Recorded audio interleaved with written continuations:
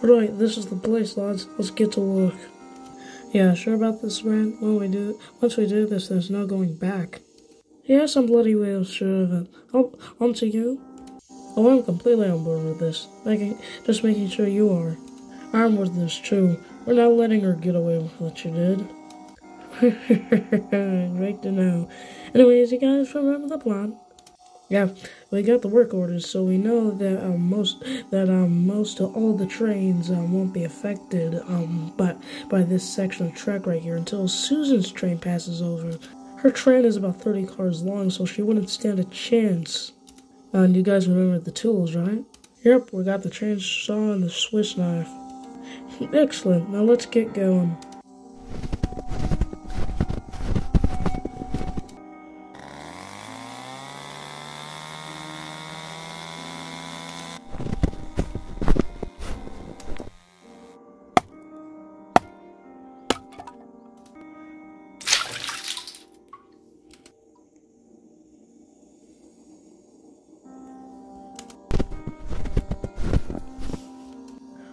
Grant, the job is finished. We reconstruct parts of the bridge so in such a way that it'll look like the degradation uh, um, due to it um, uh, uh, not receiving maintenance as much as it should. Don't worry, Greg. We also made sure to um, put more snow over our footprints.